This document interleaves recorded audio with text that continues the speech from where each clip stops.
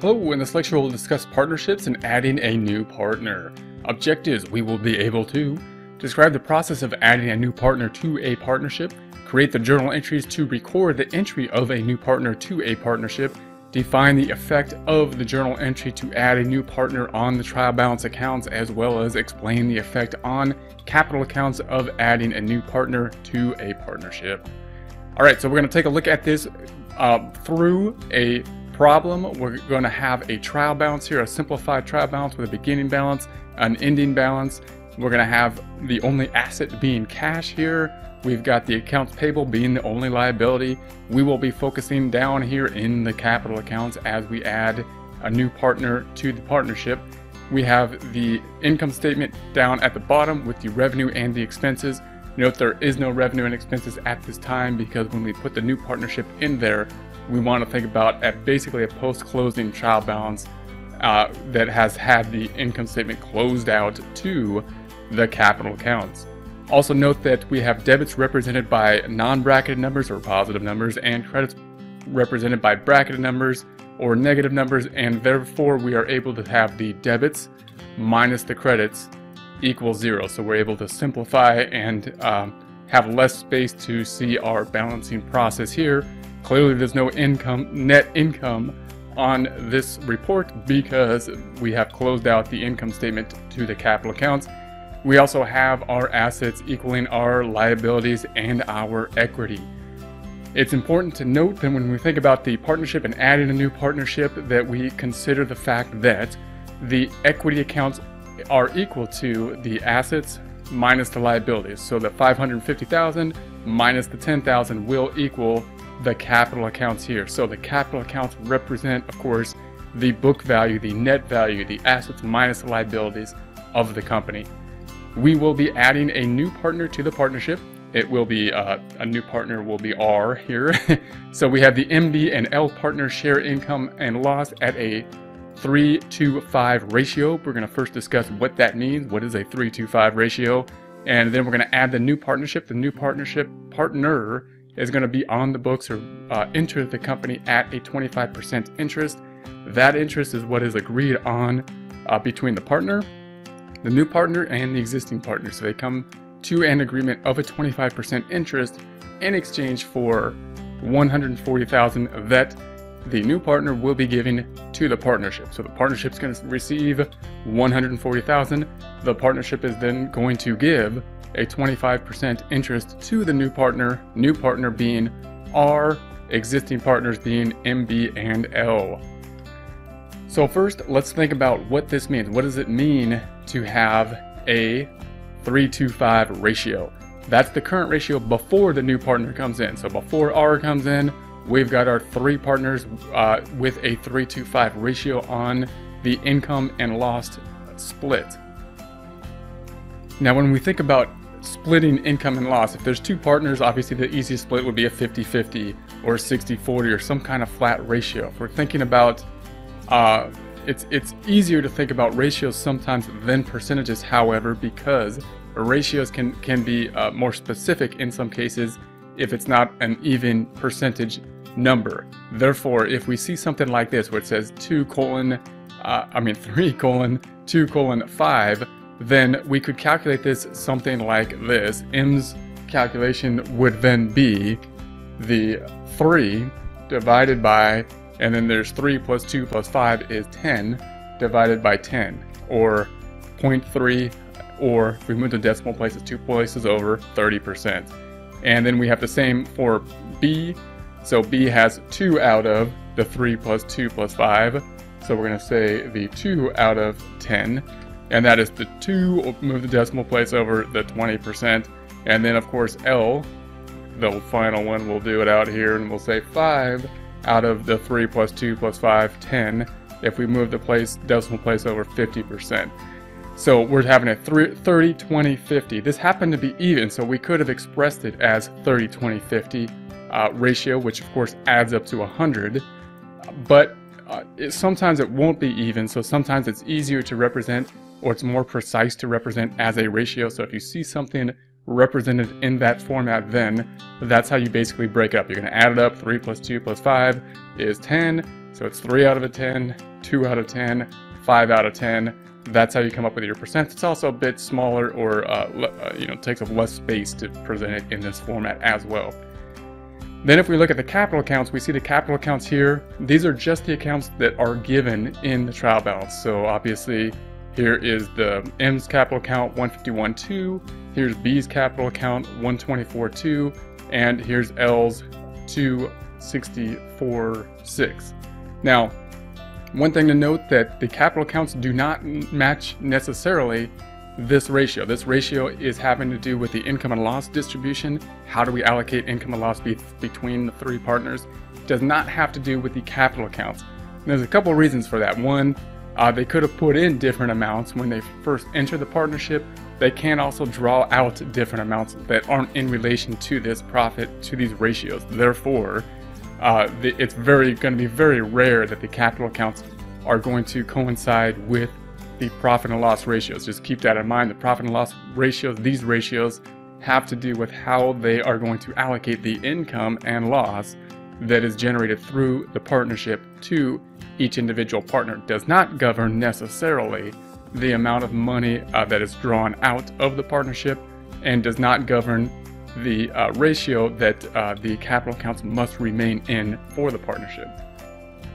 So now that we have that taken a look at, we can start to work on our journal entry. So the journal entry, we can start thinking about the journal entry and then once we run into a problem, we're gonna have to do some calculations. So let's think about the journal entry first, go through our normal steps, then see where the problem happens and do some calculations to figure this out. So we got the new partnership is gonna come on the books for 140,000. Therefore, we ask our normal question, is cash to be affected in this transaction? Yeah, the partnership's to receive 140,000. Therefore, cash is going to go up.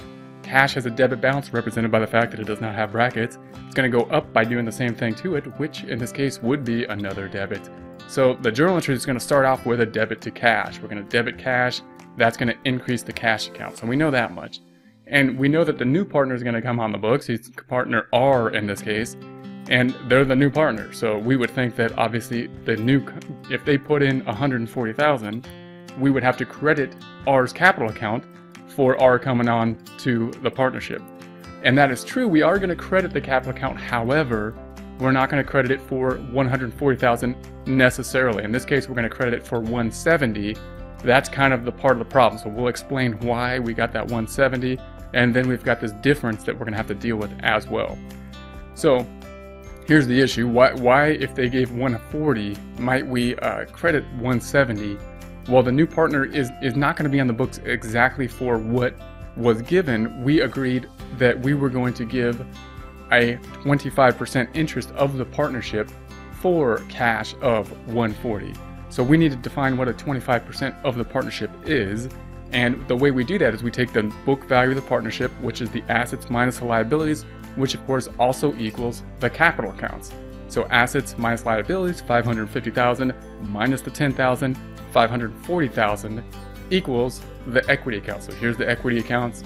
If we list those equity accounts here, here they are, we add up to 540,000 assets minus liabilities, book value of the company, theoretic value that the partners would receive if they liquidated the company and walked away uh, with the cash. Again, that's just a book value, however, probably very accurate in this case because all we have is cash on the book.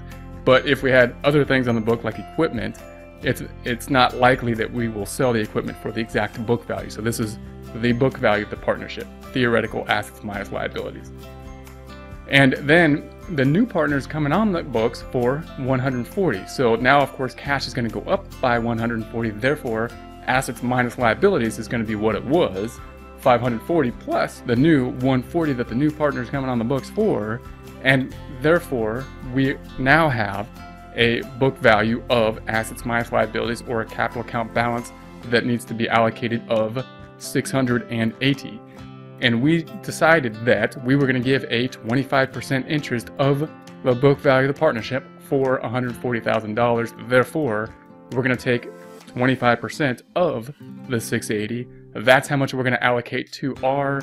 And of course, the 680,000 times 25% will give us the 170 that we talked about over here. So here's the 170.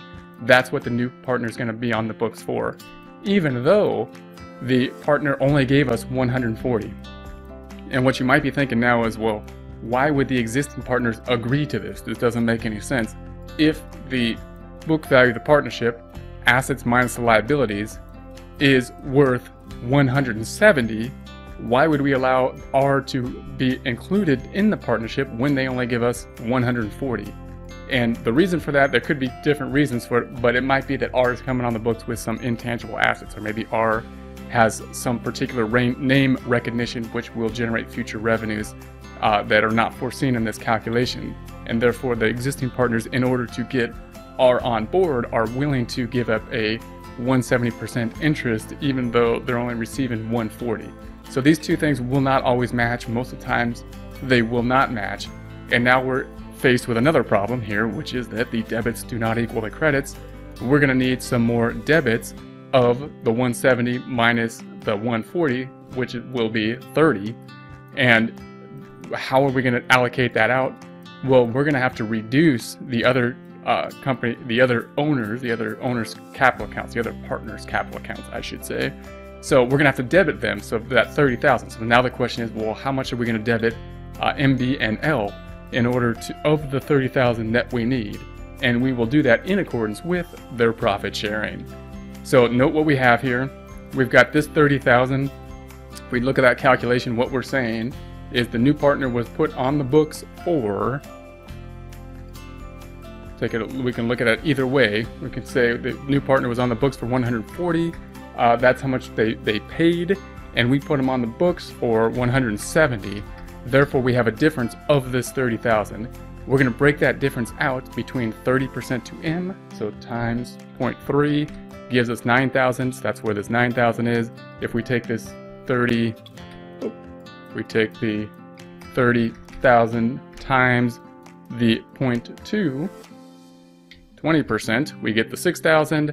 And then, of course, if we take the 30,000 times the 0.5, that'll give us the 15. The 9 plus the 6 plus the 15 add up to the 30,000. Therefore, we will then break out this 30,000 debit over here that is needed between M, B, and L in accordance with the 9, 6, and 15 breakout. Therefore, we have this uh, well, this will be the ending capital accounts. So we'll have this breakout, debit of 9,000 to M, debit of 6,000 to B, and debit of 15 to L. So that's going to reduce their capital accounts. They are not necessarily happy about this, of course, because now that reduces the book value of the company that is basically owed to them. Let's take a look at what this would look like if we posted this to a trial balance. We're going to post this journal entry. So Here's the here's what the journal entry would look like, and we're posting it uh, in accordance with our worksheet here. Let's uh, post this out, talk through it, and see if it does what we expect it to do. What do we expect it to do? We expect it to create an ending capital account after we post this journal entry of R170 and then M1422, B1182, and L2496, thereby giving us a capital account of 680, which is equivalent to the book value of the company, assets minus liabilities. So here's cash. We're debiting cash and we're going to debit cash. Cash has a debit balance. We're going to make it go up by doing the same thing to it. Therefore, cash went up to the 690,000. And then we put R on the books. So here's R on the books. We're going to credit for the uh, 170,000. So we're going to put that down here from zero up in the credit direction to 170,000. New partner on the books for 170. Then we're breaking out that 30,000 in the 9, 6, and 15 to ML and MB and L respectively. So we got the 9,000 here. Uh, note that we have a credit balance in the capital account. We're reducing it by doing the opposite thing to it. Therefore, M's going to have to eat or reduce their capital account to 142.2. So it was going to receive the 151, that was the value, and it went down.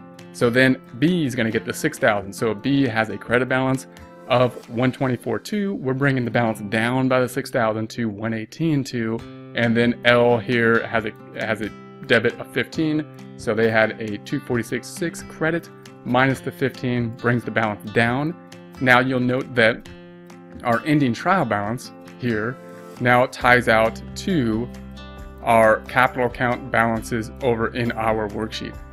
So a problem could ask this in either of two ways. As, as, an accountant or bookkeeper, we're often looking at the trial balance and we may want to see stuff, of course, in terms of journal entries. And we also may very well see this same information in terms of a table. It's good to be able to understand both ways of seeing this. Also note that once again, still the book value is going to be the 960 minus the 10 will add up to the capital account balances. So now we're going to look at a